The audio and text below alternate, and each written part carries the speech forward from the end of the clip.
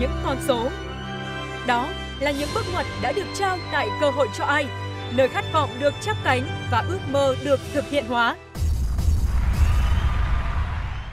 Mỗi cơ hội được trao đi là một câu chuyện mới bắt đầu Cảm giác vỡ hòa khi nghe mức lương mơ ước Niềm vui của người lao động khi tìm được nơi họ thuộc về Và cả sự tự hào khi chính họ là người được lựa chọn Em muốn đến đây để được thế này, để được thế kia. Thế chúng tôi được cái gì?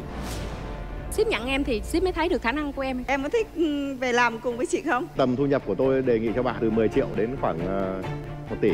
Cứ cái gì kiếm ra tiền là đều làm tốt. Không làm được những điều mà em nói, em sẽ không lên lương.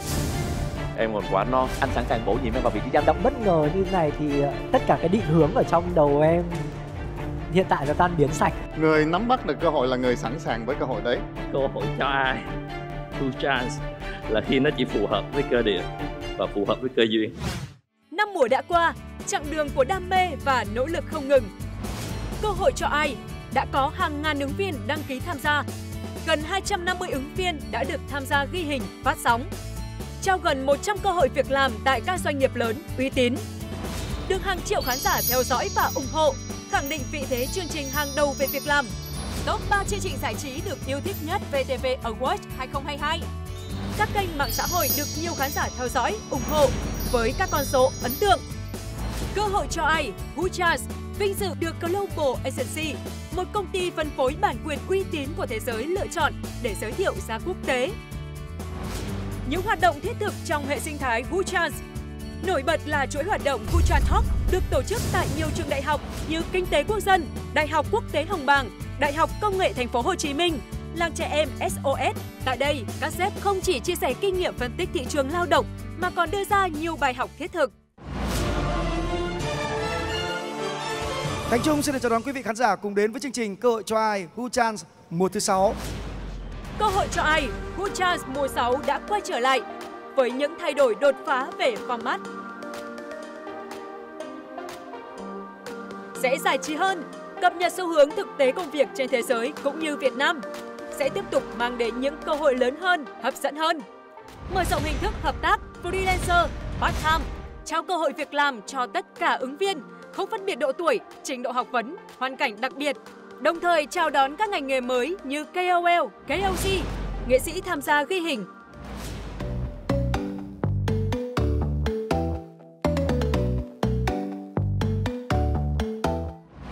Trên buổi livestream ngày hôm nay của chúng ta dành cho 30 suất đầu tiên nhé. So với sao phải mua buổi hôm nay vì nếu đâu buổi sau nó lại rẻ hơn buổi hôm nay thì sao ạ? Sản phẩm này chỉ có giới hạn 30 suất và nếu như anh Linh mua được sản phẩm này với giá rẻ hơn Em mua lại của anh Linh.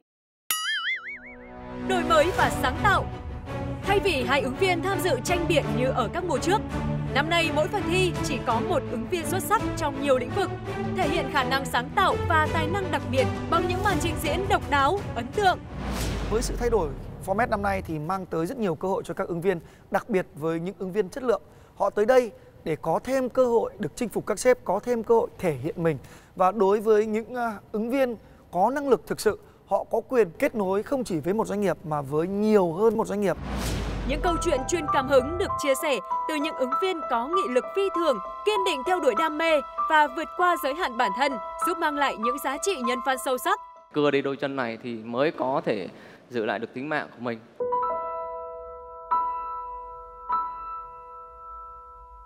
anh rất nể phục cái sự nỗ lực của em. Em có đôi chân thì em sẽ dành cho chồng em. Cơ hội cho ai? Gujas mùa 6 Phỏng vấn thử thách thực tế hơn, đáp ứng yêu cầu của thị trường lao động hiện đại và luôn đảm bảo tiêu chí. Phỏng vấn thật, thương lượng thật, việc làm thật. Hiện tại thì em đang làm trong một startup AI tại Việt Nam. Em được trực tiếp quyết định hoạt động marketing ở thị trường Mỹ sẽ làm như thế nào. Anh sẽ mời em về làm trong team marketing. Em xin phép có được một phút suy nghĩ. Em không biết phải chọn cái nào á thì chỉ cần đừng chọn cái mình không thích thôi. Một đổi mới đáng mong chờ nhất trong mùa 6. Thay vì mức lương kỳ vọng, ứng viên được đề xuất thu nhập kỳ vọng. Điều này hứa hẹn sẽ mang lại những màn chốt deal siêu khủng và vô cùng kịch tính. 100 triệu 160 triệu 333 triệu 300 nghìn đồng Thưa quý vị, chúng tôi đang nhìn thấy cơ hội vàng Tất cả chỉ mới là bắt đầu. Cơ hội cho ai? Who Chance mùa 6 đã sẵn sàng chào đón những tài năng mới. Xin mời quý vị cùng đón xem những câu chuyện ấn tượng. Cơ hội cho ai? Who Chance mùa 6 Cơ hội cho tất cả.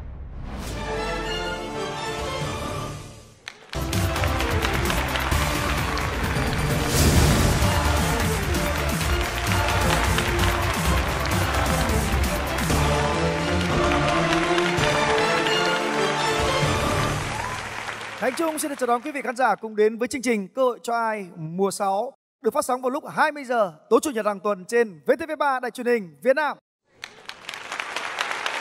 Thưa quý vị, sau năm mùa Cơ hội cho ai đến với quý vị khán giả, chương trình đã trở thành một người bạn đối với các doanh nghiệp, đối với các ứng viên người lao động và đặc biệt là những khán giả quan tâm tới thị trường lao động. Và thưa quý vị, mùa 6 đã quay trở lại và năm nay chúng tôi sẽ mang tới rất nhiều những vị trí công việc như KOL, KOC, những à, công việc như part time hay freelancer đó là những khái niệm công việc mới để thích ứng với thời kỳ mới, với thị trường mới thưa quý vị. Và đối với một ứng viên đến với chương trình cơ hội cho ai mùa 6 sẽ có cơ hội không chỉ về với một doanh nghiệp, với một sếp mà có thể có nhiều hơn một doanh nghiệp và nhiều hơn một sếp nếu như ứng viên đó đủ năng lực, chuyên môn và được các sếp lựa chọn. Và đến với chương trình cơ hội cho ai sẽ luôn luôn là những sếp đứng đầu các doanh nghiệp trong nước, những doanh nghiệp uy tín và họ đã sẵn sàng nhận thêm những nhân sự quan trọng để tạo nên hiệu quả cho doanh nghiệp. Và chúng ta sẽ cùng chào đón năm sếp đang có mặt trong tập đầu tiên của mùa 6 cơ hội cho ai. Mạnh mẽ và tinh lọc, đó chính là cách tôi bắt đầu một ngày mới và cũng là cách tôi điều hành một doanh nghiệp. Sau gần 20 năm phát triển, IV Moda đã và đang bước vào giai đoạn chuyển mình trở thành một doanh nghiệp bán lẻ thời trang chuẩn quốc tế ở Việt Nam.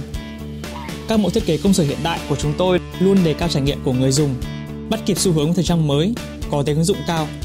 Chúng tôi, những người trẻ lãnh đạo, luôn kiên định với sứ mệnh giúp khách hàng tạo dựng phong cách bằng tuyên ngôn thời trang của mình. Sự quyết liệt, dám nghĩ dám làm, không ngừng sáng tạo chính là phẩm chất cốt lõi giúp chúng tôi bứt phá và ghi dấu ấn rõ rệt trên thị trường thời trang hiện nay. Chúng tôi tìm kiếm những nhân tài có đam mê và nhiệt huyết với công việc. Chúng tôi sẽ đồng hành và hỗ trợ các bạn trên con đường tìm kiếm phiên bản tốt nhất của chính mình.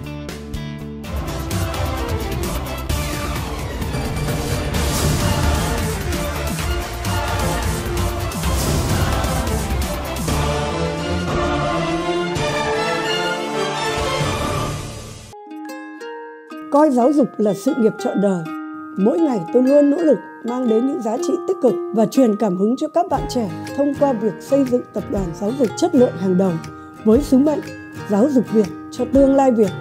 Trong giai đoạn kỷ nguyên số, chúng tôi đã tiên phong chuyển đổi mô hình trung tâm Anh ngữ 5 sao lên online. Với mục tiêu thu hẹp khoảng cách học tiếng Anh ở mọi vùng miền, Excel sẽ hiện thực hóa giấc mơ để không ai bị bỏ lại phía sau mong muốn chiêu mộ những ứng viên ưu tú có cùng giá trị sống. Tôi sẵn sàng chào đón thế hệ Gen Z thông minh, sáng tạo và đầy tự tin.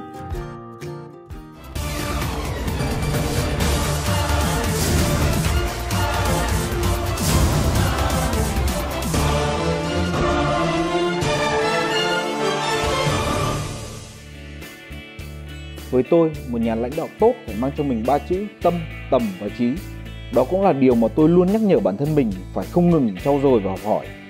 Bảo Ngọc với lịch sử hình thành và phát triển gần 40 năm đang ngày một chuyển mình và bứt phá trở thành một trong những doanh nghiệp sản xuất bánh kẹo hàng đầu tại Việt Nam.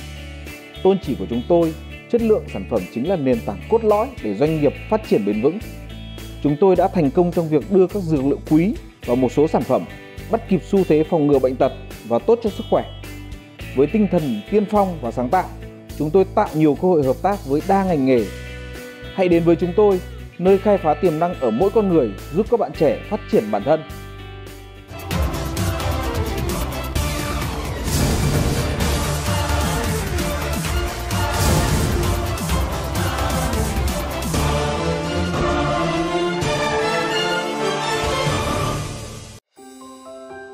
Mang đến những sản phẩm gia vị sạch, đậm đà hương vị vùng miền, phục vụ người tiêu dùng trên khắp cả nước và chinh phục thị trường quốc tế. Đó chính là triết lý kinh doanh và sứ mệnh của công ty Dead Foods. Mỗi sản phẩm gia vị của chúng tôi đều lưu giữ trọn vẹn hương vị đặc trưng mang đậm dấu ấn bản sắc Việt. Đến với chương trình Cơ hội cho ai mùa 6, chúng tôi mong muốn tìm kiếm những nhân sự trẻ, thông minh, chăm chỉ, năng động, trung thực và có chung khát khao mang sản phẩm Việt ra thế giới. Thế giới đang thay đổi và chúng tôi cũng mở rộng các hình thức hợp tác với những ứng viên cùng phát triển.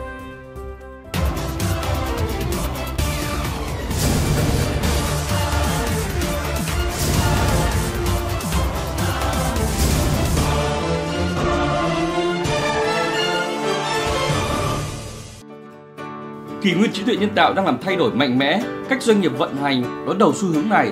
Chúng tôi không ngừng phát triển các dịch vụ và khóa học đào tạo chất lượng, góp phần thúc đẩy việc ứng dụng AI trong các lĩnh vực như vận hành, sản xuất, bán hàng, marketing.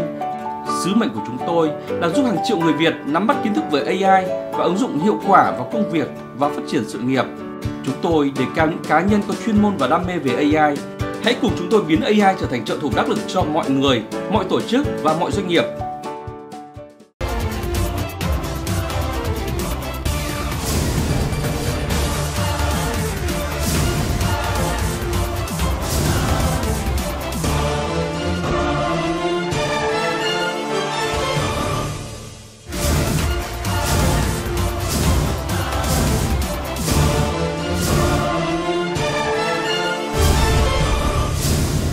Xin được uh, chào đón uh, những gương mặt thân quen ở những mùa trước khi uh, Thành Trung may mắn đứng ở sân khấu cơ hội cho ai đó chính là sếp Trung Dũng.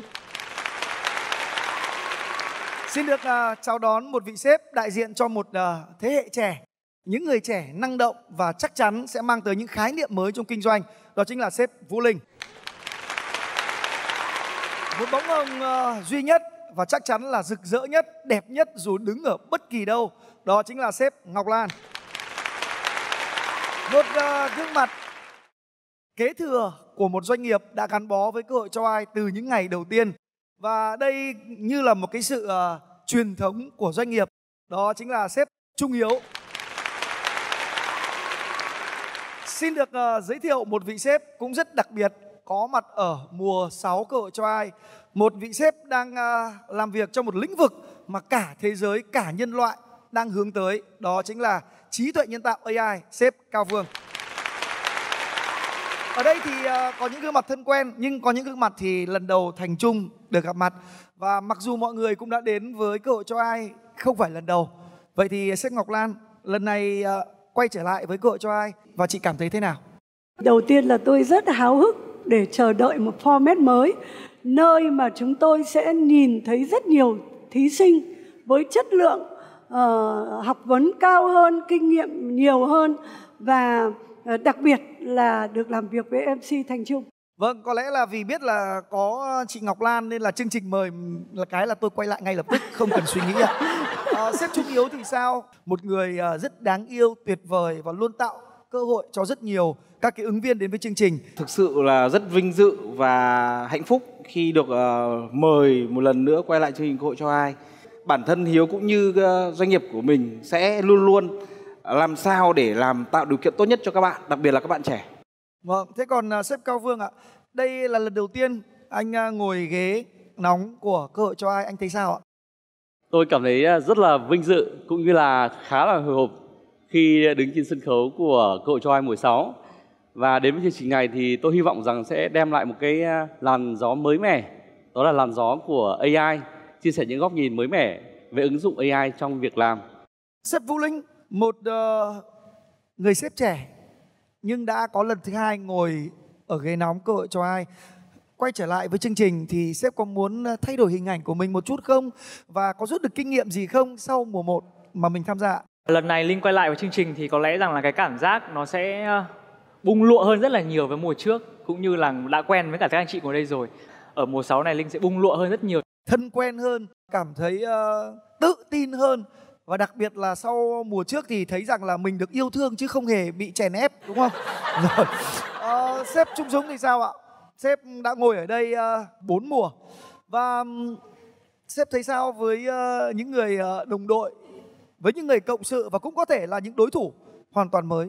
Mùa này thì các sếp trẻ đã thành người thân quen.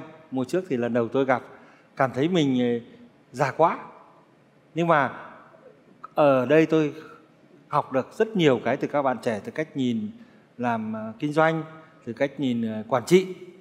Vâng thưa quý vị, với chủ đề năm nay, cơ hội cho ai? Cơ hội cho tất cả. Cơ hội cho các ứng viên, cơ hội cho các doanh nghiệp. Chúng ta không chỉ tìm những nhân sự tốt, những ờ, người lao động không chỉ tìm những doanh nghiệp tốt mà chính chúng ta cũng tìm được những kiến thức khi được làm việc cùng nhau bởi vì mỗi một vị sếp mỗi một doanh nghiệp lại ở một lĩnh vực khác nhau.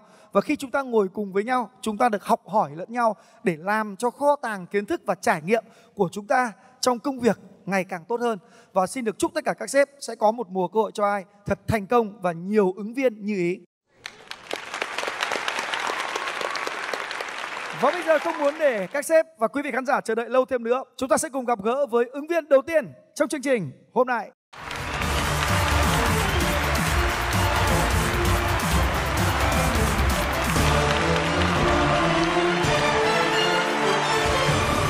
Em xin chào các sếp. Em tên là Nguyễn Cao Kỳ Duyên.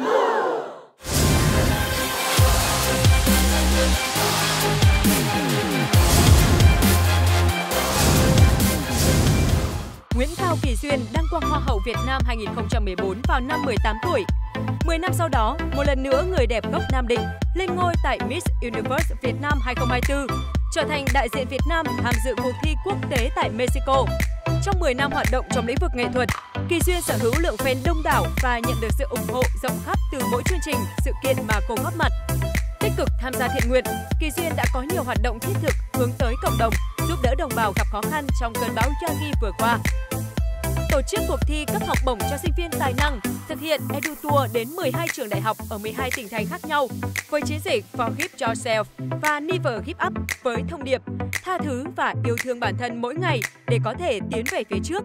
Kỳ Duyên đã trở thành một hình ảnh đẹp, tràn đầy năng lượng, truyền cảm hứng tích cực cho giới trẻ. Xuất hiện tại chương trình Cơ hội cho ai, Buchas Kỳ Duyên mong muốn tìm kiếm những cơ hội đặc biệt, góp phần thực hiện hóa những sứ mệnh mình đặt ra khi trở thành đại diện Việt Nam tham dự đấu trường sắc đẹp quốc tế. Vâng, thật là bất ngờ. Tôi tin rằng là không chỉ tôi bất ngờ mà tất cả các sếp bất ngờ, các quý vị khán giả cũng bất ngờ khi bước ra sân khấu cơ hội cho ai. Ứng viên đầu tiên của mùa 6 lại là Hoa hậu Kỳ Duyên. Chắc chắn là các sếp và các doanh nghiệp đây rất mong muốn biết xem là bạn sẽ hợp tác với các doanh nghiệp như thế nào và bạn có thể làm được gì cho các doanh nghiệp nếu như đến với các doanh nghiệp. Hiện tại công việc của em đang là hoạt động trong lĩnh vực nghệ thuật. Ngoài ra thì em có kinh doanh ở trong lĩnh vực thời trang và hiện tại em đang là influencer ở trong lĩnh vực fitness sức khỏe. Đến với mùa 6 của cơ hội cho ai, em cảm thấy rất vui khi mà cơ hội cho ai đã mở ra thêm cơ hội nhiều hơn cho các bạn influencer, KOL, KOC và em mong muốn rằng là với sự ảnh hưởng của em có thể đồng hành cùng với tất cả các thương hiệu của các sếp để làm sao chúng ta có thể lan rộng hơn những cái điều tốt đẹp mà các sếp mang tới cộng đồng ạ. Vâng, rất là rõ ràng như là một đại sứ thương hiệu, như là một người có thể hợp tác với các nhãn hàng. Vậy thì à, với à, một ngành hàng à, cũng khá là đặc biệt như của sếp Hiếu thì sao? Chương trình làm cho tôi có bất ngờ và chắc là các sếp ở đây cũng rất bất ngờ. À, sự xuất hiện của Duyên chắc là thậm chí còn gây áp lực cho các sếp. Thì hôm nay bạn đến đây với mục tiêu là gì? Và thực sự bạn có uh, suy nghĩ gì khi uh, có thể đóng góp cho doanh nghiệp cũng như cho cộng đồng? Thật ra thì ờ, với vị trí của em ngày hôm nay đến đây, em không phải là một nhà tư vấn chiến lược marketing. Em biết được là thế mạnh của em là gì, đó chính là em đã có khoảng thời gian 10 năm cống hiến trong lĩnh vực của em đang làm và em có những đối tượng khán giả riêng của em. Đương nhiên, để mà có thể đồng hành với cả các sếp thì em mong muốn rằng là có thể sử dụng cái sức ảnh hưởng của mình. Bởi vì đối với em á, cả năm sếp ngồi đây, năm sếp đều đại diện cho những nhãn hàng kinh tế uh, rất là khác nhau và đối với từng nhãn hiệu của các sếp ở đây thì em đều cảm thấy rất là ngưỡng mộ và nó luôn là một cái niềm tự hào của đất nước Việt Nam ta. Và em nghĩ rằng là kể cả trong bất cứ một lĩnh vực nào như thế đặc biệt là lĩnh vực kinh doanh thì chúng ta đều mong muốn rằng là uh, có thể mang lại những cái giá trị tốt đẹp cho cộng đồng. Và bây giờ thì uh, sếp Dũng có muốn nói điều gì không ạ? Với một ứng viên rất là đặc biệt thế này ạ. Bạn có biết là Việt Nam có hai thứ có thể cạnh tranh với thế giới không? Theo bạn là hai thứ gì? Em nghĩ rằng là chắc chắn trong đó là gia vị. Gần gần giống. Và cái thứ hai cái thứ hai cái thứ hai cái thứ hai là cái bạn đang đại diện Việt Nam ấy có hai thứ có thể cạnh tranh với song phẳng với thế giới, một là phụ nữ Việt Nam, hai là ẩm thực Việt Nam. Ừ, dạ. Thì trong ẩm thực phải cần có gia vị. Dạ. Còn bạn là đại diện cho những phụ nữ Việt Nam, các phụ nữ Việt Nam đều có quyền tự hào là một trong những người phụ nữ xinh đẹp, đảm đang và kiên cường. Dạ. Mình có 30 năm sống ở nước ngoài, mình cũng đi rất nhiều nước và cái điều đấy mình thấy rất là rõ ràng. Kết hợp được hai cái mà Việt Nam tự hào nhất thì mình nghĩ nó là một cái điều tuyệt vời đúng không? Thật ra là cái thứ hai mà sếp Dũng nhắc tới thì à, em cũng tính nói rồi nhưng mà nếu mà em tự khen em đẹp thì à, à, chắc là em cũng cần phải khiêm tốn một chút ạ. Nó không chỉ phụ nữ Việt Nam không chỉ Dạ. đẹp, vừa đẹp vừa thông minh, vừa nấu ăn ngon nữa đúng không ạ Nấu Phụ ăn nữ ngon. Việt Nam đẹp giỏi nhưng mà ngon. vẫn nấu ăn ngon. Dạ. một phần là nhờ gia vị của sếp Dũng. Thế còn à, với một doanh nghiệp liên quan tới công nghệ trí tuệ nhân tạo như sếp Vương thì sếp Cao Vương thấy sao với một ứng viên này? Liệu à, doanh nghiệp của sếp có vị trí nào cho nhân sự này không ạ? Thực sự là rất là ngưỡng mộ cái hành trình mà em à, đi qua trong suốt 10 năm qua. Và được biết là trong một tháng tới thì em sẽ tham dự một cuộc thi rất lớn cầu chúc cho em những điều tốt đẹp nhất trong kỳ thi tới và anh nghĩ rằng là trong kỳ thi tới thì có thể là một trong những chủ đề mà ban tổ chức có thể nhắc tới đó là AI và nếu mà em hứng thú muốn tìm hiểu kỹ hơn về AI thì anh sẵn sàng có thể hỗ trợ giúp em Dạ vâng, Vâng. chắc chắn là như thế ạ. Em cảm ơn sếp. Và chắc chắn nếu như một ứng viên như thế này đại diện và lan tỏa đến với ờ, tất cả những ờ, khách hàng ở Việt Nam biết tới trí tuệ nhân tạo, biết tới AI, biết tới doanh nghiệp của sếp Cao Vương thì còn gì tuyệt vời hơn, đúng không ạ? Chúng ta đang nhìn thấy cơ hội hợp tác rất rõ ràng. Nhưng ứng viên cũng sẽ phải chứng minh năng lực giống như bất kỳ một ứng viên nào đến với chương trình. Vì thế chúng ta sẽ cùng đến với vòng 1 chinh phục.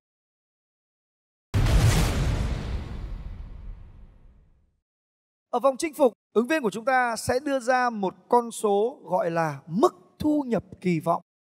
Ở mức thu nhập này sẽ gửi về cho chương trình. Sau đó ứng viên sẽ vượt qua những thử thách chương trình đưa ra. Các sếp sẽ đưa ra màu đèn. Nếu là đèn xanh, ứng viên sẽ có cơ hội đi tiếp. Nếu là đèn đỏ, đương nhiên cơ hội sẽ không có.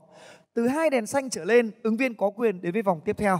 Và ở vòng tiếp theo thì các sếp sẽ đưa ra những cái mức đề xuất cho công việc cũng như là thu nhập của ứng viên. Nếu mức đề xuất đó bằng hoặc hơn so với con số kỳ vọng mà ứng viên đưa ra thì ứng viên sẽ có quyền làm việc và thương lượng với các sếp trước khi quyết định về với doanh nghiệp nào. Đó là luật.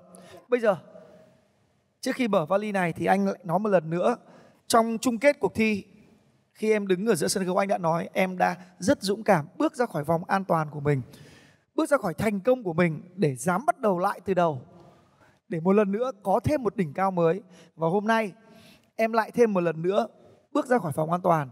Và anh chúc cho lần bản lĩnh này lần à, lựa chọn này sẽ lại thành công với em. Cảm ơn anh Trung.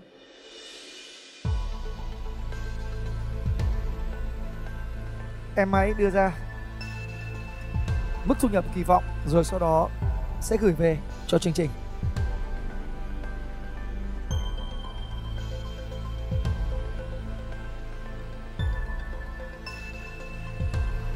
Vâng. Con số đã được gửi về.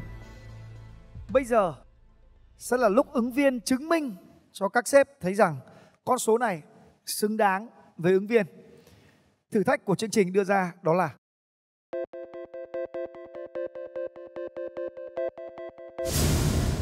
Số 2 Có quan điểm cho rằng nhân sự có ngoại hình đẹp dễ được quản lý ưu ái hơn. Bạn nghĩ sao về quan điểm này? Bạn có một phút để suy nghĩ và 3 phút để đưa ra quan điểm của mình. Mời bạn về vị trí ban đầu.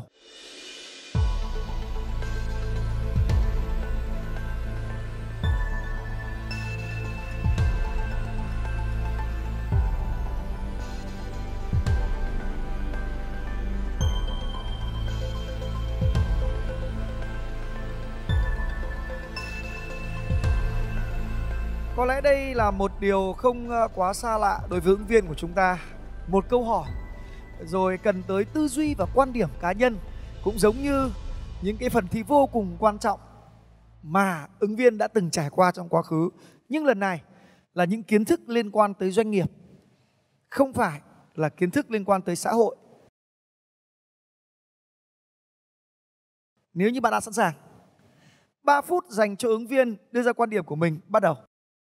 Em hoàn toàn đồng ý với quan điểm này.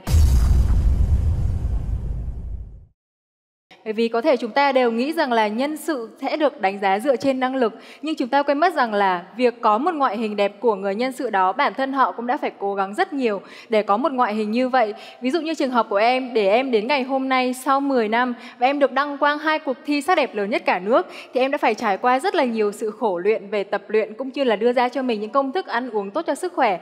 Và em nghĩ rằng là với tất cả mọi cô gái thì ngoại hình của họ khi mà họ có được cái điều đó thì bản thân họ cũng đã phải nỗ lực rất rất nhiều, rất rất nhiều. Và đối với cá nhân em thì một cô gái có cái sự luyện tập để có thể có một ngoại hình đẹp như vậy là điều chúng ta rất đáng tuyên dương. Bản thân chúng ta, khi là chúng ta là người quản lý hay chúng ta là những người giám đốc cấp cao thì chúng ta nên công nhận điều đó và dành cho họ những cái sự yêu ái như vậy. Tuy nhiên, khi mà một nhân sự tốt thì cái cô gái đó cần phải là có một sự tổng hợp về ngoại hình đẹp cũng như là về tư duy tốt, về trí tuệ tốt thì cái điều đấy sẽ tạo nên một điều tuyệt vời nhất. Một câu trả lời rất thẳng thắn và trực diện một câu trả lời mà nếu như thông thường thì uh, có thể sẽ có nhiều cách trả lời khác. Nhưng chúng ta phải nhìn rằng để có được một hình thức đẹp không phải tự nhiên nó là tập luyện và đôi khi là khổ luyện. Và xin được hỏi các sếp quan điểm của ứng viên đưa ra thế nào ạ? Xin mời sếp hiếu ạ. Ờ, anh cũng rất đồng quan điểm với em. Thì anh nghĩ là đơn giản như này thôi đẹp tự nhiên không có nghĩa là tự nhiên mà đẹp. Phải là một hành trình giống như em nói là sự khổ luyện còn là cái phần phải tu luyện cái tâm bên trong mình nữa các cụ vẫn luôn luôn có câu là tâm sinh tướng để mà chúng ta có một cái ngoại hình một cái sự tin tưởng đến với cho người đối diện chắc chắn là cái tâm của ta cũng phải đẹp Ờ, sếp Ngọc Lan thì sao ạ? Sếp ờ, cũng đã đi tập, sếp cũng ờ, yêu thể thao vậy thì sếp đánh giá thế nào trong cái câu chuyện là một người phụ nữ để có được và giữ được cái hình thể đẹp ạ? Chúng tôi muốn giữ được như thế này ấy, thì phải thực sự là mỗi ngày phải dành cho vài tiếng tập luyện. Ngoài tập luyện thì chúng tôi còn phải khâu mồm, khâu miệng, ờ, quản trị cảm xúc trước đồ ăn và luôn luôn giữ một cái chế độ ăn healthy. Thì và ngày hôm nay chị nhìn thấy kỳ duyên thì chị bảo ôi chết chết rồi mình vẫn béo quá thôi mình phải về mình phải tiếp tục cái hành trình này. Nãy nãy chị còn lỡ ăn một cái bánh của em ngon lành cành đào Sếp Linh thì sao ạ? Một người làm trong lĩnh vực ờ, thời trang không xét trên khía cạnh là quan điểm cá nhân thì cái cách mà duyên trả lời không có nước đôi chỉ có là ủng hộ hoặc là phản đối và duyên chọn ủng hộ và duyên có ba luận điểm rất rõ ràng cách trả lời rất thông minh đứng trước những tình huống để đưa ra cái quyết định là giải quyết thế nào cũng là sự luyện tập và cũng phải chịu áp lực đấy ạ. Thật ra là trong một cái câu hỏi ờ, kiểu dạng ứng xử như vậy ấy ạ, thường thì em sẽ bám trực tiếp vào cái câu hỏi nó đang đưa ra là gì. Thì trong cái câu hỏi này cái luận điểm nó đang đưa ra là ngoại hình. Thế thì đầu tiên ở một cái câu hỏi nó cần cái sự trả lời là yes or no thì mình cần phải đưa ra cái lời khẳng định trước đã và sau đó mình sẽ đưa ra tất cả những cái luận điểm luận cứ để nó tăng cái sự thuyết phục cho cái câu trả lời của mình. Vâng và cứ như thế này thì sau này em sẽ trở thành người đi truyền cảm hứng và đào tạo coaching cho rất nhiều các doanh nghiệp đấy. Chắc chắn với câu trả lời vừa rồi của ứng viên, các sếp rất là hài lòng. Nhưng bây giờ mới là phần quan trọng để các sếp bấm được đèn xanh một lần nữa với tư cách là người dẫn chương trình, tôi vẫn nói với ứng viên rằng bạn hãy thuyết phục các sếp để các sếp thấy rằng bạn có cơ hội hợp tác với doanh nghiệp, bạn có thể làm tốt cho doanh nghiệp, làm được những điều mà hơn cả doanh nghiệp mong muốn vậy thì bạn hãy chinh phục từng doanh nghiệp ở đây xin mời bạn Đầu tiên thì em xin phép được chinh phục sếp Dũng trước với uh, lĩnh vực kinh doanh đó chính là lĩnh vực về gia vị. Và ngày hôm nay khi mà em đến đây thì uh, em cũng mang tới một người bạn đồng hành để có thể hỗ trợ cho em trong phần chinh phục này. Xin giới thiệu Vũ Thúy Quỳnh ạ. vâng ạ xin mời Hello em. Đầu tiên thì um, em xin được chiếu lên màn hình một sản phẩm mà em và Quỳnh đã chuẩn bị trước cho phần chinh phục đối với lĩnh vực gia vị của sếp Dũng ạ. Sếp Dũng đã sẵn sàng để xem chưa ạ? À, sẵn sàng. Dạ vâng. Xin mời video ạ.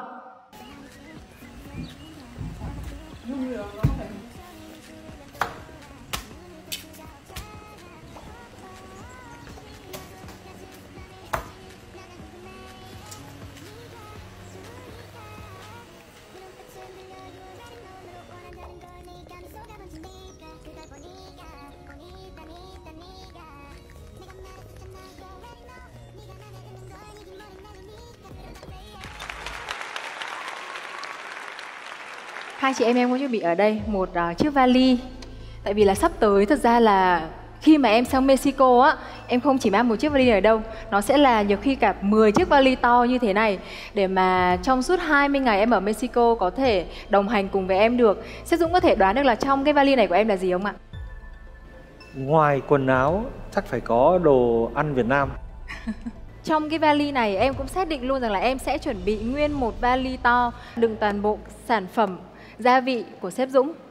Với hai lý do, cái lý do đầu tiên đó chính là đây sẽ là người bạn đồng hành của em trong suốt 20 ngày em ở Mexico.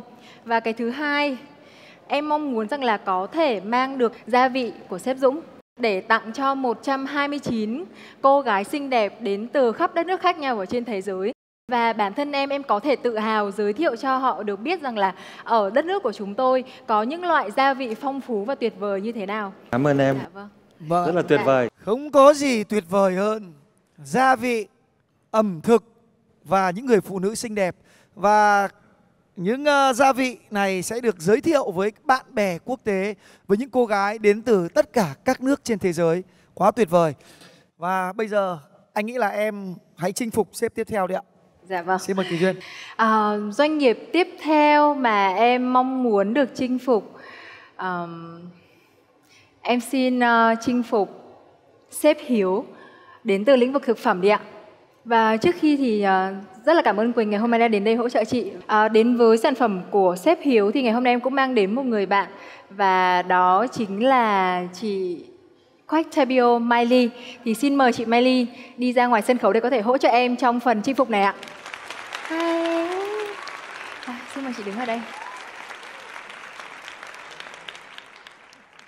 Và ngày hôm nay thì hai chị em ờ, chúng em cũng đã chuẩn bị trước một ờ, video clip để ờ, có thể mang tới cho sếp Hiếu để mong rằng là thông qua video đó sếp Hiếu có thể thấy được là cái sự tìm hiểu của bọn em về sản phẩm như thế nào.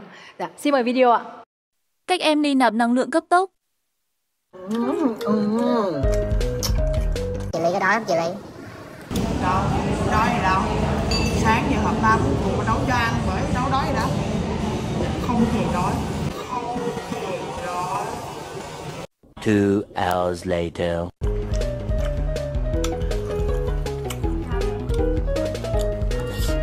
Ngon quá à. Lâu lắm mới được ăn Trời buổi là chất lượng luôn á cái cái này phải nói là quá tuyệt vời và Dạ vâng. xin phép chương trình là chắc anh à, được xin phép lên đấy để tương tác với hai em Dạ và được, có em một lời cảm ạ. ơn cho Dạ. hai em Vâng, rất ngắn gọn nhưng mà rất gây tò mò. đúng trend bây giờ là nội dung short ngắn. video Vâng, short video nội dung ngắn. Cảm ơn em. Truyền tải và làm cho cảm ơn duyên Dạ em cảm ơn khán giả Dạ. khách hàng phải à, tò mò. Dạ anh Vậy thì đây. bây giờ duyên hãy nói với sếp Hiếu em muốn hợp tác như thế nào với doanh nghiệp của sếp Hiếu? Dạ. Trong cái video clip của chị em Ly vừa rồi thì sếp Hiếu có thể thấy được một cách rất là rõ ràng là chị em Ly sử dụng sản phẩm của sếp Hiếu trong rất là nhiều tình huống khác nhau. Sản phẩm đó nó cần cái thứ nhất rằng là giúp cho mình ăn ngon, cái thứ hai là nó phải thực sự tiện lợi và cái thứ ba là nó phải cung cấp được đầy đủ các chất dinh dưỡng. Thì thông qua clip của chị em Ly thì bọn em mong muốn rất là có thể truyền tải thông điệp này tới sếp Hiếu cũng như là tới tất cả các khách hàng của thương hiệu mà Sếp Hiếu đang đồng hành cùng. Và đối với cá nhân của em, tính đến nay cái dự án Kỳ Duyên Fit của em, đây là một cái dự án mà em đã run nó cách đây một năm trước khi mà em tham dự cuộc thi Hoa hậu. Và cái thứ này tính đến bây giờ em vẫn tiếp tục mong muốn là có thể làm được những mùa tiếp theo, mùa tiếp theo hơn nữa. Khi mà em làm ra chương trình đó, em cũng mong muốn là giới thiệu cho mọi người những cái sản phẩm, những cái thực phẩm mà bản thân em đã từng trải nghiệm rồi. Và em rất là mong muốn là có thể đồng hành cùng với sếp Hiếu để mang cái sản phẩm, mang cái nguồn thực phẩm rất là tuyệt vời này đến cho những khán giả của em và rất rất nhiều những người khách hàng tiềm năng ở ngoài kia đây là điều mà Hiếu rất là mong muốn. Hy vọng là sẽ có cơ hội hợp tác nhiều nhiều nhiều hơn nữa với các bạn và có thể lan tỏa cái sản phẩm Việt dành cho người Việt để cho mọi người Việt Nam đều tin rằng là Việt Nam có rất nhiều sản phẩm chất lượng và rất nhiều sản phẩm uh, thương hiệu lâu đời nhưng luôn luôn gắn với sứ mệnh vì cộng đồng. Dạ Cảm vâng, ơn cảm ơn anh. Vâng, cảm ơn Ok. sếp Hiếu rất Cảm nhiều. ơn ạ. anh Hiếu. Vâng, cảm ơn sếp Hiếu. Cảm Có ơn vẻ chị. như thêm một sếp nữa, một doanh nghiệp nữa đã bị chinh phục. Đã có đèn xanh của sếp Dũng rồi. Và bây giờ tôi ờ, không biết là sếp Hiếu về có bấm đèn xanh nữa không?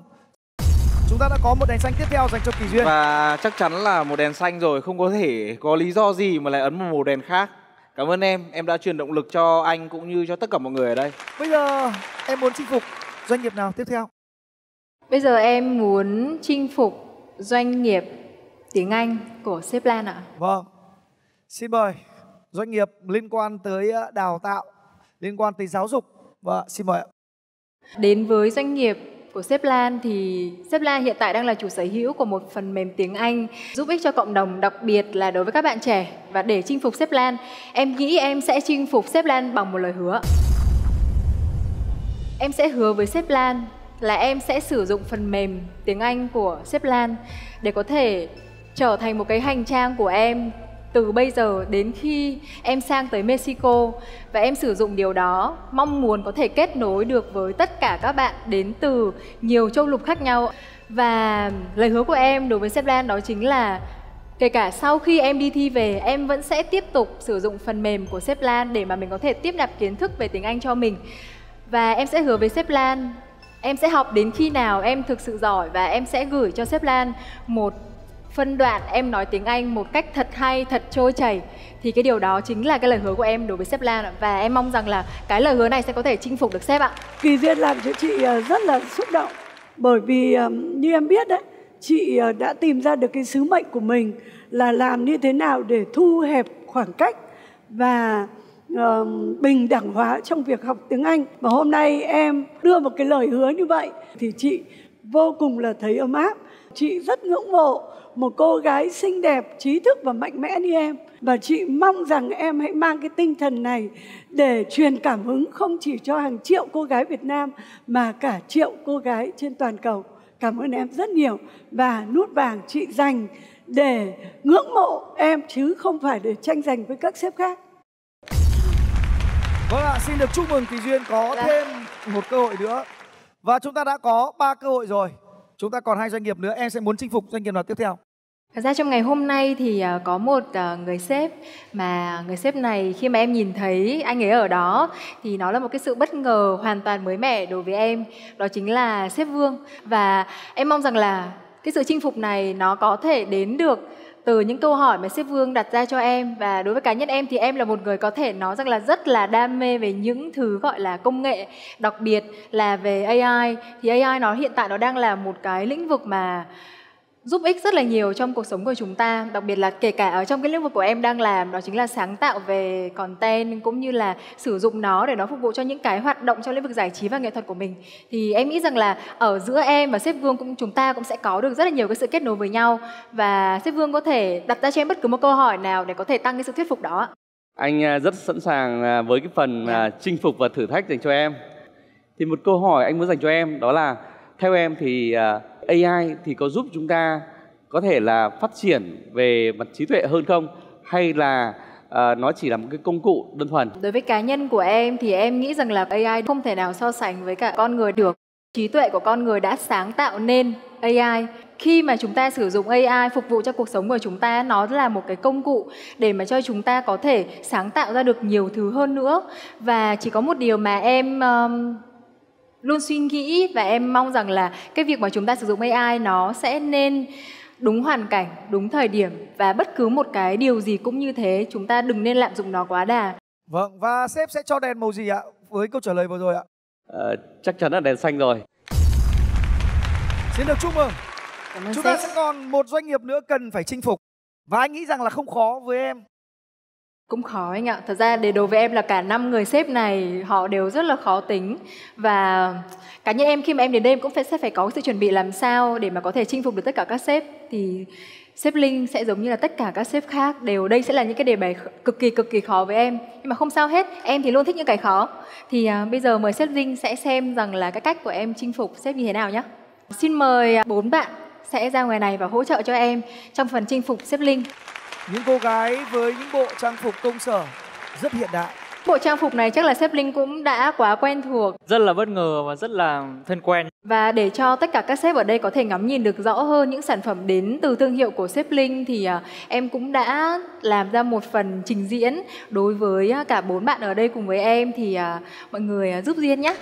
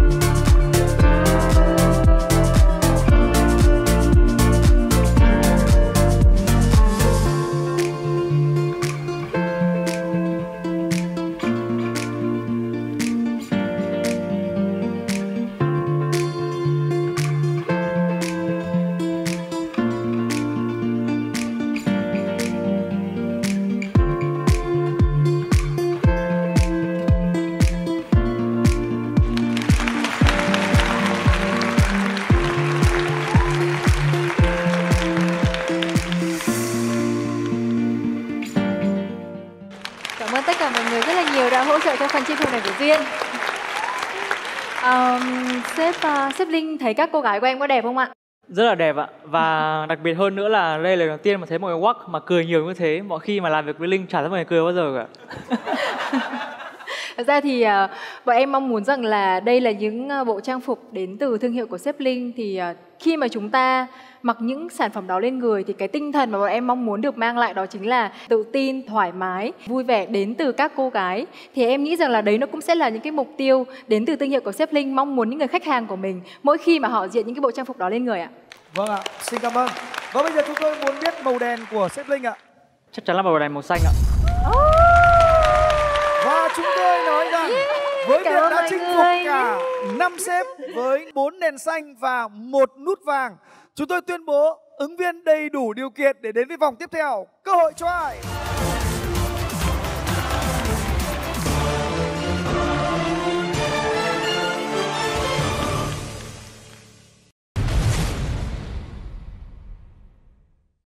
Chúng ta cùng đến với vòng 2 và đương nhiên lúc này thì các sếp sẽ phải đưa ra những mức đề xuất và offer dành cho ứng viên xứng đáng này. Và xin mời uh, sếp uh, Linh trước ạ. Sếp Linh sẽ offer thế nào? À, trong năm 2025 thì uh, thương hiệu của anh sẽ tròn 20 năm và bọn anh sẽ có một cái show thời trang ở một trong bốn cái tuần lễ thời trang lớn nhất thế giới. Anh nghĩ rằng là chúng ta có thể kết hợp được với nhau ở trong một cái ờ, chương trình như thế này. Đây là cái offer của anh, cái chương trình anh dành cho em. Em có thể tham gia và có thể đại diện như người phụ nữ Việt Nam. Tất nhiên rằng là khi mà mình uh, làm một cái show ở nước ngoài thì có rất nhiều những bạn mẫu có thể ở nước sở tại. Tuy nhiên anh mong muốn rằng là mình sẽ có người phụ nữ Việt Nam mà là một cái biểu tượng để có thể đi cùng thương hiệu đến với cả cái thời trang này. Thì đây là cái đề xuất của anh dành cho em. Dạ. Vâng, Cảm ơn anh.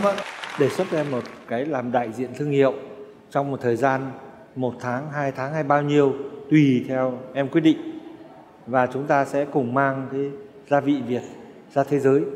Offer anh sẽ gửi sau. Ờ, anh cũng sẽ offer cho em một cái vị trí KOL đại diện của nhãn hiệu của bên anh. Ờ, thời gian bao lâu là tùy em. Và hình thức hợp tác nhà cũng anh nghĩ cũng là để cho em open. Và cái con số anh cũng đưa ra cho em đây cũng là chỉ là một con số tượng trưng. Anh nghĩ thế thì vì anh thấy là rõ ràng ờ, cái sứ mệnh của em nó cao lớn hơn so với những cái mà các sếp ở đây có thể offer cho em. Anh muốn offer em ờ, muốn chia sẻ làm sao mà có khoảng một nghìn suất học bổng học về AI dành cho những bạn sinh viên mong muốn là khám phá về AI để ứng dụng trong việc trong tương lai làm thế nào để có thể giúp các bạn trẻ ứng dụng AI hiệu quả trong việc và anh hiểu rằng là em rất thích làm những cái hoạt động thiện nguyện thì rất là mong muốn chia sẻ một cái phần cái đóng góp của anh tới cái hành trình chia sẻ thiện nguyện của em. Dạ. Chị ờ, rất ấn tượng lời hứa của Kỳ Duyên là em sẽ là người học tiếng Anh trên nền tảng công nghệ cái app của bên chị và sẽ quay cái tiếng Anh lúc ban đầu và cũng như là em đã cải thiện được để truyền cảm hứng cho uh, toàn thể học sinh của Việt Nam. Uh, cũng như là cái app đó cũng sẽ có tiếng Việt, tiếng Nhật, tiếng Hàn và không chỉ dừng lại phục vụ học sinh Việt Nam mà còn ra thế giới. Uh, nên là chị cũng sẽ mong em sẽ trở thành uh, KOL uh, thời gian bao lâu là tùy em và uh, chị cũng con số offer thì chị xin được bí mật Vâng ạ, và bây giờ chúng tôi muốn tất cả những đề xuất này sẽ được biến thành những con số để chúng ta công bố ngay sau đây. Xin mời các sếp.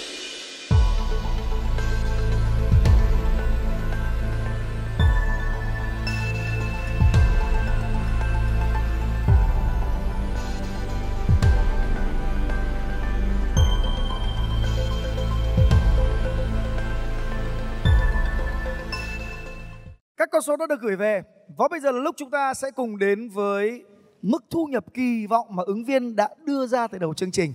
Chắc chắn là nhiều khán giả sẽ đặt ra câu hỏi là một ứng viên thế này thì một con số như thế nào cho xứng đáng đây? Và đây sẽ là câu trả lời, thưa quý vị. Đó là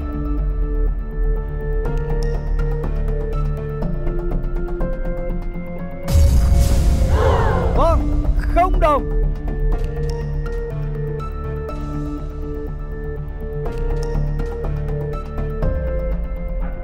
Tại sao lại là không đồng? Thì chúng ta sẽ nghe giải thích sau. Còn bây giờ chúng tôi muốn được biết các đề xuất của các sếp đưa ra. Đó là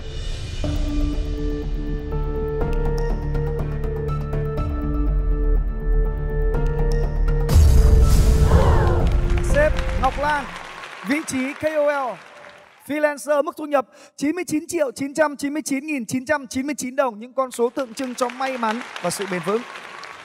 Tiếp theo.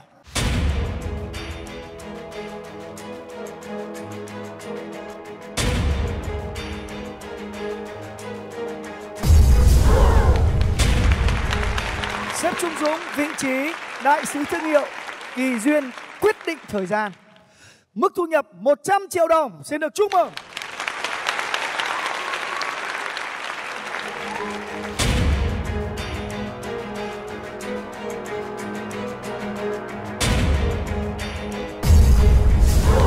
Xếp Trung yếu vị trí KOL, KOC Mức thu nhập 99 triệu 868 nghìn 686 đồng Cũng là những con số may mắn để chúc em chuẩn bị có một hành trình may mắn tiếp theo.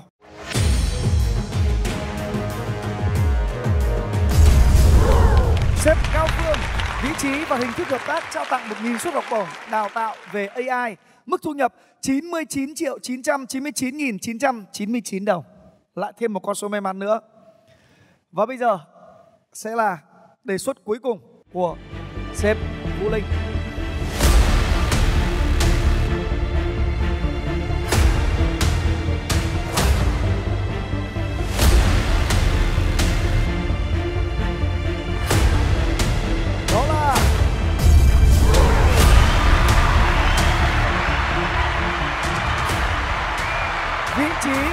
Verdict cho runway. Tại tuần lễ thời trang mức thu nhập là 333 triệu 300 nghìn đồng. Xin được chúc mừng! Wow. Bây giờ là lúc em sẽ đứng ra kia để giải thích tại sao em lại lấy con số là không đồng cho thu nhập kỳ vọng của mình.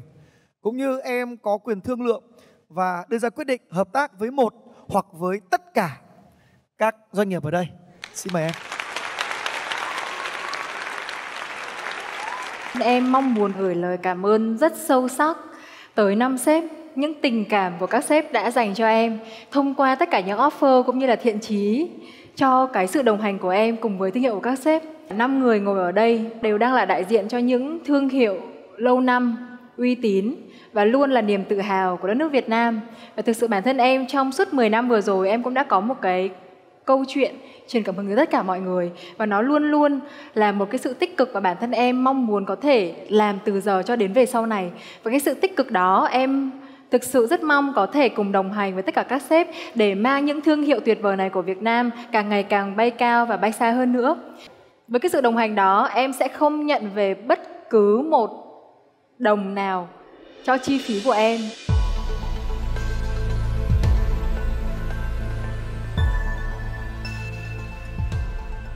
Và ngày hôm nay khi em đến đây, em chỉ mong muốn có được một điều cao cả và đẹp đẽ nhất đối với bản thân em, đó chính là sự đồng hành của các sếp. Trong dự án của em, đó chính là em được đồng hành cùng các sếp xây dựng được 5 ngôi trường cho các trẻ em ở trên vùng cao. Chúng ta đều biết là trong suốt những khoảng thời gian vừa rồi thì uh, cơn bão số 3 đã mang lại những cái sự mất mát cực kỳ to lớn đối với đất nước Việt Nam của chúng ta, và đặc biệt là với các em nhỏ. Và bản thân em, sau khi mà em đăng quang xong, em đã có một khoảng thời gian để lên đó có thể hỗ trợ cho bà con sau đợt bão đấy. Và đối với sự quan sát của em thì hiện tại thì trường học, kể cả nhà của bà con ở trên đó thì hầu như là vẫn chưa thể khôi phục được bởi trận bão khủng khiếp đấy và thực sự cá nhân em em rất mong có thể đồng hành cùng với những doanh nghiệp lớn giống như là những doanh nghiệp của các sếp để có thể xây dựng cho các em những ngôi trường tạo được một cái điều kiện các em có thể phát triển và có một cái nền giáo dục vững chắc nhất nó giống như là một cái lý tưởng của em vậy bởi vì chính các em sẽ là nền tảng sẽ là những cái điều bắt đầu cho tương lai đất nước của chúng ta và em rất mong muốn có thể đồng hành với tất cả các sếp để có thể hiện thực hóa cái ước mơ cái lý tưởng này của em ạ. À, phải nói là em thực sự làm cho các sếp ở đây bất ngờ và chính sự bất ngờ của, của em thì uh, chắc cũng sẽ phải xin uh, ban tổ chức uh, cho các sếp được hội ý nhanh một chút được không ạ? Vâng ạ, dạ, mời các sếp ạ.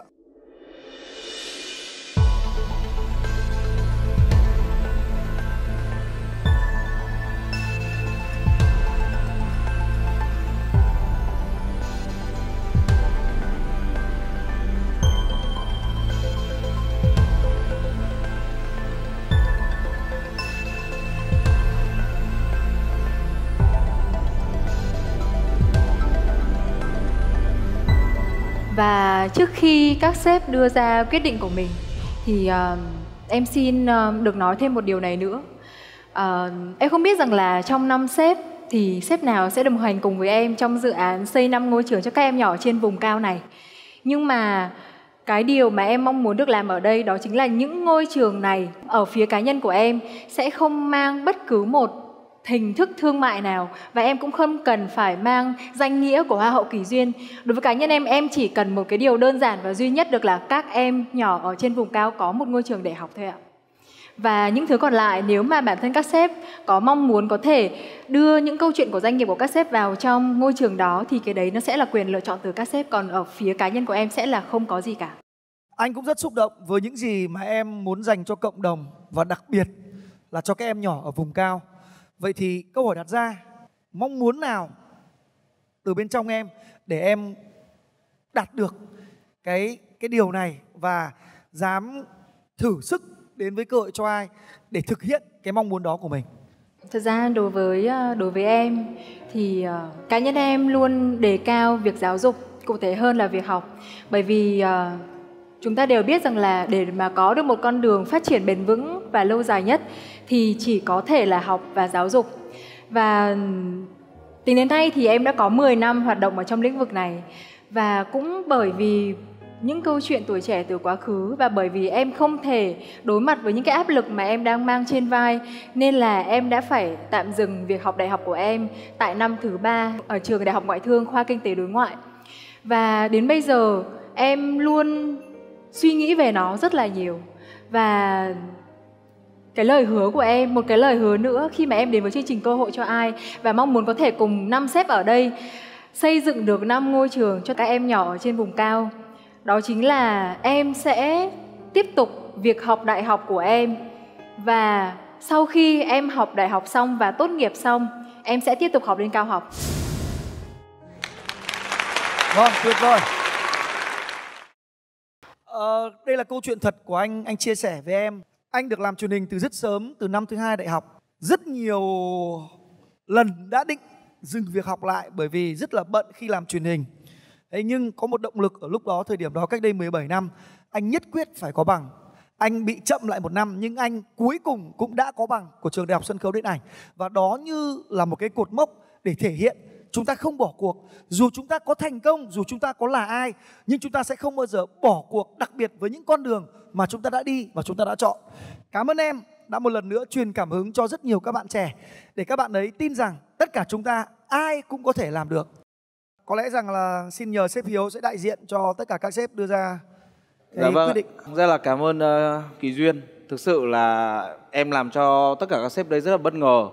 Ờ, vừa rồi thì ờ, các sếp cũng đã phải hội ý rất nhanh với nhau và thay mặt cũng là một cái ờ, trọng trách được đại diện cho các sếp để đưa ra cái lời cuối cùng. Những doanh nghiệp của chúng tôi đều là những doanh nghiệp Việt Nam, hướng đến cho người tiêu dùng Việt Nam và mong muốn đóng góp cho xã hội, cho cộng đồng nên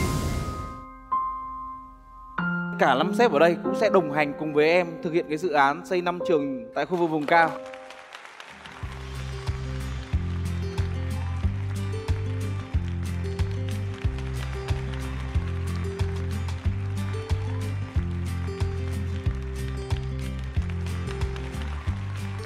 Chúng ta sẽ thực hiện được cái dự án này và có thể uh, còn có những cái hợp tác uh, sâu hơn nữa. Biết đâu chúng ta có thể thực hiện những con số còn tốt hơn cả con số kỳ vọng của Duyên thì sao?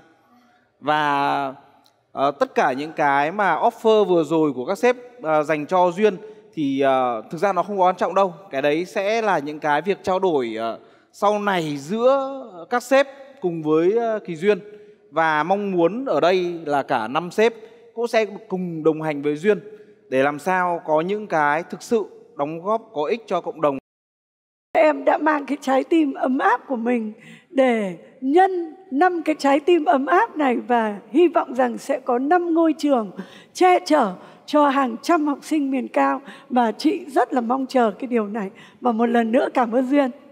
Vâng, Cảm thật ơn tất cả tuyệt các vời. sếp. Không có gì tuyệt vời hơn khi chúng ta ở đây không mang cơ hội cho chính chúng ta, cho những doanh nghiệp, cho ứng viên mà chúng ta ở đây mang cơ hội cho hàng trăm các em nhỏ có cơ hội được tới trường, có cơ hội được phát triển, có cơ hội để làm những gì tốt đẹp nhất cho quê hương và cho đất nước. Và chúng tôi chỉ biết nói rằng mời năm sếp hãy đến với ứng viên của mình để đến với lễ ký kết thỏa thuận của doanh nghiệp và ứng viên.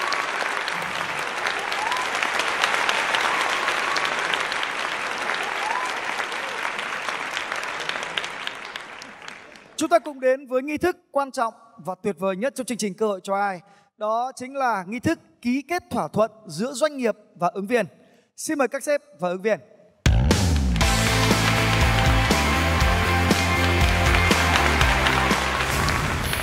Wow, thật sự kết quả cuối cùng của ngày hôm nay đối với Duyên nó đã vượt vượt vượt ngoài mọi sự kỳ vọng của Duyên khi mà Duyên chuẩn bị cho chương trình này. Mọi người đã say yes với Duyên, xây dựng đồng hành với Duyên năm ngôi trường cho các trẻ em ở trên vùng cao thì thực sự điều này là một cái điều mà ừ, Duyên rất là biết ơn thì bản thân Duyên cũng rất là mong muốn có thể đồng hành cùng với các thương hiệu của các sếp để mà mình mang lại cái câu chuyện truyền cảm hứng của Duyên, mang lại tất cả những cái điều tích cực mà Duyên đã đúc kết trong 10 năm vừa qua để làm sao mà cùng với những thương hiệu của Việt Nam càng ngày càng phát triển và bay xa hơn nữa. Thực sự khi mà Kỳ Duyên mở ra cái mức thu nhập là không đồng là tôi thật sự bất ngờ, ngã ngửa. Nhưng ngay sau khi Kỳ Duyên chia sẻ về cái sứ mệnh, cái mục tiêu thì tôi đã thấy được là à, Kỳ Duyên đến đây mong muốn mang những điều tốt đẹp trao cho các em nhỏ không may gặp cơn bão Jackie vừa rồi và chắc chắn tôi cũng như các sếp sẽ đồng hành vừa bằng tài chính cũng như các nguồn lực của các doanh nghiệp hiện giờ đang có để làm sao nhanh nhất có thể có những ngôi trường à, cho các em có thể yên tâm học hành. Chúng tôi nghĩ rằng là dự án CSR này nó rất là hay, nó mang nhiều ý nghĩa. Tôi mong rằng dự án hỗ trợ điểm trường này của Duyên sẽ là một dự án thành công và nó sẽ lan tỏa được sự tích cực này đến với cộng đồng. Và ngay sau đây thì em rất mong muốn có thể mời được bốn người bạn đồng hành của em ngày hôm nay đến đây để có thể chúng ta cùng nhau chung vui với khoảnh khắc tuyệt vời này ạ. Xin mời mọi người ra đây với Duyên. Yes, thế là được rồi. Mình làm như này luôn đi mọi người.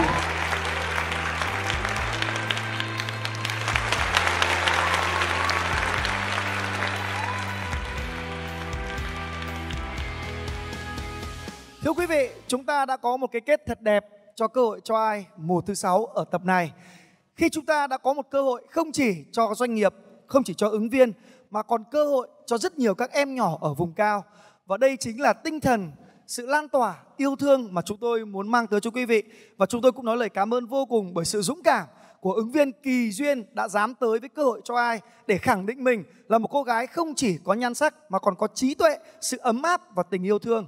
Cảm ơn các sếp, các doanh nghiệp đã đồng hành với mong muốn đầy ý nghĩa này của ứng viên và chúng ta hãy cùng chúc cho những mong muốn này sẽ thành hiện thực và hơn hết, sự lan tỏa này đến với nhiều doanh nghiệp hơn nữa trong đất nước Việt Nam của chúng ta. Cảm ơn quý vị rất nhiều đã yêu mến và đồng hành với cơ hội cho ai. Chúng tôi muốn nhắc quý vị rằng chúng tôi sẽ quay trở lại vào tối chủ nhật tuần sau 20 giờ trên VTV3 Đài truyền hình Việt Nam. Xin chào và hẹn gặp lại.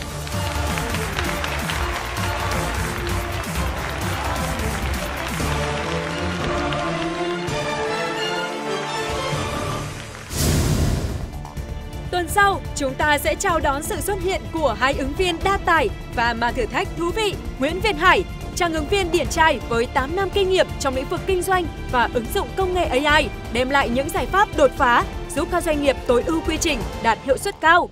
Sứ mệnh của em đấy là được phổ cập AI tới người Việt Nam. Thời điểm hiện tại AI chưa đủ khả năng để phản đề tạo một cái content nó thu hút.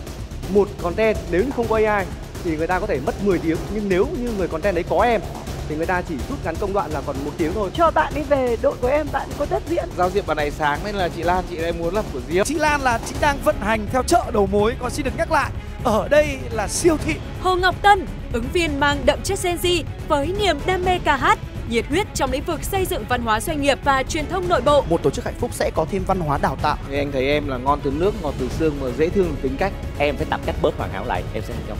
Theo em thì làm sếp hay làm cả nhân viên sẽ đều có những cái khó riêng. Không có nhân viên rốt, chỉ có lãnh đạo tồi. Hãy cùng đón xem họ sẽ chinh phục các sếp như thế nào vào 20 giờ Chủ nhật ngày 17 tháng 11